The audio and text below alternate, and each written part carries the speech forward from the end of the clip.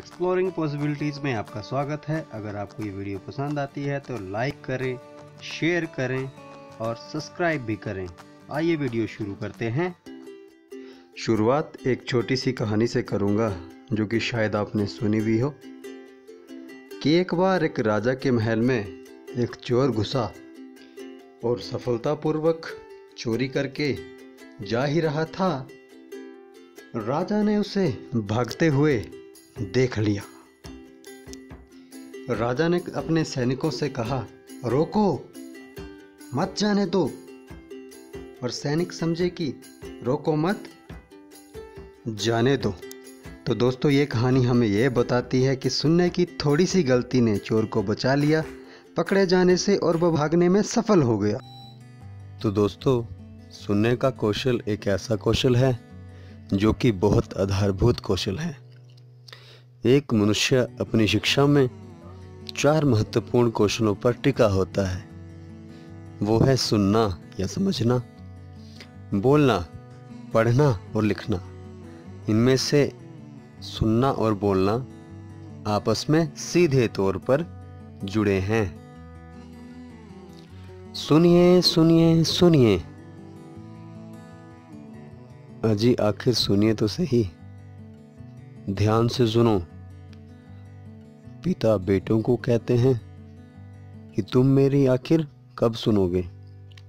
और ऐसी बहुत सारी बातें हमें जीवन भर सुननी पड़ती हैं, या हम आज तक सुनते आए हैं। और पवित्र बाइबल में एक जगह लिखा है कि अगर तुम्हारे पास कान है तो तुम सुन लो। ये क्या? कान तो सभी के पास हैं तो ये किन कानों की बात हो रही है? हम स्वयं विचार कर सकते हैं। जब किसी का भी जन्म होता है तो वह बोलने से पहले सुनता है। हमने शिशुओं को देखा होगा कि वह किस तरह से नई आवाज़ों के प्रति सजग हो उठते हैं। वे कितने ध्यान से सुनते हैं। घंटी की आवाज़, गाना या कोई अन्य आकर्षक आवाज़। फिर अधिकतर लोग जिस तरह के भाषाई वातावरण में रहते हैं उस तरह की भाषा या बोली को सीख जाते हैं। यह सब सुनने का ही परिणाम है और ये गुण अधिकतर मनुष्यों में समान रूप से पाया जाता है। क्योंकि हम सब में यह गुण भाषा की सीखने के रूप में पाया जाता है। लेकिन बचपन में एक उम्र के बाद यह सुनने का विशिष्ट गुण कम सा होता नज़र आता है, जिसका सीधा असर हमारे बोलने की क्षमता पर पड़ता है, जो कि हमारी एक बहुत विशिष्ट क्षमता है, विशिष्ट गुण है।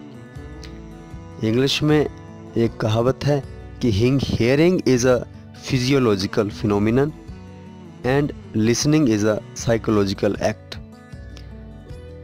सुनना दरअसल में एक शारीरिक प्रक्रिया है, जिसके भी पास स्वस्थ कान हैं, वह आवाज़ों को तो सुनता ही है, लेकिन सुनने की एक उन्नत प्रक्रिया है, जिसे हम समझना कहते हैं, जो कि सुनने से एक कदम आगे है।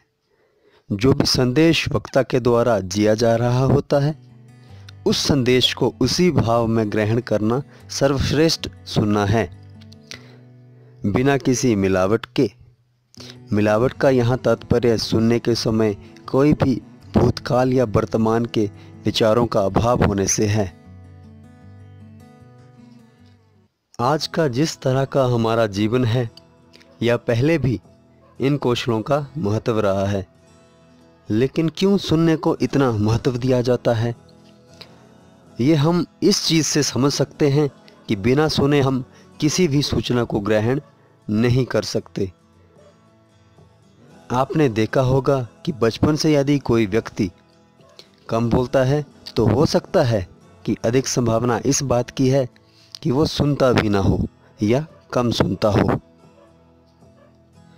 तो आइए, सुनने से होने वाले लाभों के बारे में हम ज़रा विस्तार से जानते हैं। पहला लाभ, कि सुनने से अधिक ज्ञान की प्राप्ति होती है। तो जी हाँ अगर हम विषय वस्तु को ध्यान से सुनेंगे तो वो हमारे दिमाग में ठीक से बैठेगा और हमें अधिक ज्ञान की प्राप्ति होगी। दूसरा पॉइंट है विषय वस्तु की पूर्ण जानकारी। ध्यान से सुनने से जो भी विषय वस्तु वक्यता के द्वारा कही जा रही है, उसको हम पूर्ण रूप से जान सकते हैं। तीसरा है, वर्तमान में होने का लाभ। जी हाँ अगर हमारे दिमाग में कोई भी भूत या भविष्य के विचार नहीं चले हैं जो कि ध्यान से सुनने के कारण हो जाता है तो हमें वर्तमान में होने का लाभ भी मिल सकता है। सुनना ध्यान का एक माध्यम है। तो जी हाँ अगर हमारा ध्यान वर्तमान में रहेगा तो ये एक तरह से ध्यान का माध्यम भी हो जाएगा। व्यक्तिगत संबंधों में सौम्यता। अधिकतर समय पर देखा जाता है कि रिश्तेदारों में पति पत्नी में भाई बहन में बाप बेटे में इस प्रकार की बहस चढ़ी रहती है कि तुम मेरी बात नहीं सुनते हो या कम सुनते हो। तो अगर हम बातों को ध्यान से सुनेंगे तो हमारे व्यक्तिगत संबंधों में भी मधुरता और सौम्यता बनी रहेगी। अगला है, सुनने से शब्दकोश में वृद्धि होती है। तो जी हाँ शब्दकोश को बढ़ाने का एक तरीका भी ये भी है कि हम सबसे पहले सुने और सुनकर उसको उच्चारित करें। तो जिसका रूट कॉज जो है, जिसकी जड़ जो है, वो सुनने में ही विद्यमान है। अगला है, एक अच्छा वक्ता बनने की ओर एक सुदृढ़ कदम। जी हाँ अगर हम अधिक शब्दों को सुनेंगे बार बार सुनेंगे, एक जो कंटेंट है, उसको बार बार देखेंगे तो ये हमारा एक अच्छा वक्ता बनने की ओर अच्छा कदम हो सकता है या हो जाएगा। तो आइए एक नज़र देते हैं आध्यात्मिक ग्रंथों और आध्यात्मिक गुरुओं के तरफ़, जिन्होंने सुनने के बारे में क्या कहा है। तो सबसे पहले श्री गुरु नानक देव जी ने श्री गुरु ग्रंथ साहब में सुनने के बारे में बहुत विस्तार से महिमा गाई है, जो कि इस प्रकार से है। वे कहते हैं कि सुनने से ही सिद्धियाँ प्राप्त होती हैं दैवी शक्तियाँ प्राप्त होती हैं, सुनने से ही संत महात्मा हैं। इससे ही धरती और आकाश हैं।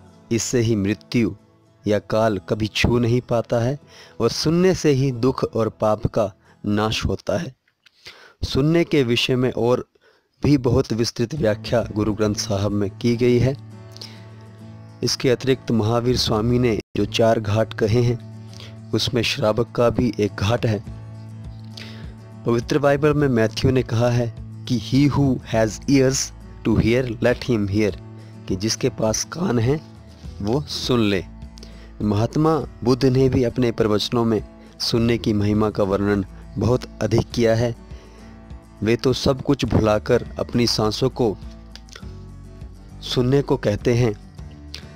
तो उपरोक्त कुछ उदाहरणों से ये बात हमें स्पष्ट तौर पर निकल कर आती है कि सुनने का महत्व न केवल व्यक्तिगत, सामाजिक व सांसारिक है, बल्कि इसके अतिरिक्त इसका महत्व आध्यात्मिक भी है और बहुत ज़्यादा है। तो दोस्तों, आप जानते हैं कि कैसे सुधारें सुनने के कौशल को। ज़ाहिर तौर पर सुनने का कौशल एक बहुत महत्वपूर्ण कौशल है। यहीं से ही कई चीज़ों की अच्छी नींव शुरू होती है, विशेषकर अच्छा वक्ता बनने की। तो कैसे सुधारें सुनने के कौशल को? जैसे कि बाकी चीज़ों में होता है। अभ्यास एक महत्वपूर्ण कुंजी है। जिन विषयों में रुचि नहीं है, उनमें रुचि उत्पन्न करके हम सुनने के कौशल को सुधार सकते हैं। अपने आप को शून्य माने, यह सच में काम करता है।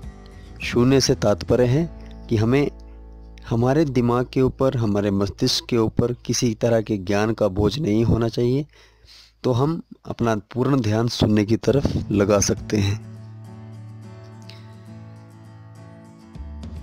किसी भी नए विषय को सुनने से पहले अपने आप को पूर्व ज्ञान के बोझ से मुक्त करें। ध्यान को वर्तमान पर लगाकर हम सुनने को काफ़ी हद तक सुधार सकते हैं। और छठा है, फुल बॉडी लिसनिंग में ज्ञान व सूचना के ग्रहण को सदैव तैयार रहना। एक विख्यात अंग्रेज़ी वाक्य है कि one who listens steps forward for better life कि जो भी व्यक्ति सुनता है, अपने एक अच्छे जीवन के लिए एक कदम और आगे बढ़ा देता है। तो इसमें दिए गए समस्त उदाहरण यह स्पष्ट कर देते हैं कि सुनना महत्वपूर्ण ही नहीं, बहुत आवश्यक और विशिष्ट गुण भी है, जो कि एक सामान्य व्यक्ति को विशिष्ट बनाने की योग्य रखता है। तो आइए हम अपने सुनने की आदत को मज़बूत बनाकर प्रगति की तरफ़ एक और सुदृढ़ पग उठाकर अपने जीवन को समृद्ध बनाने की तरफ़ अग्रसर हो जाएँ। धन्यवाद। और अगर आपको ये वीडियो पसंद आई तो चैनल को सब्सक्राइब करें, इस वीडियो को लाइक करें, और अगर आप चाहते हैं कि ये वीडियो आपके रिश्तेदार, सगे संबंधी या भाई बहन भी देखें तो इसको शेयर भी करें। धन्यवाद।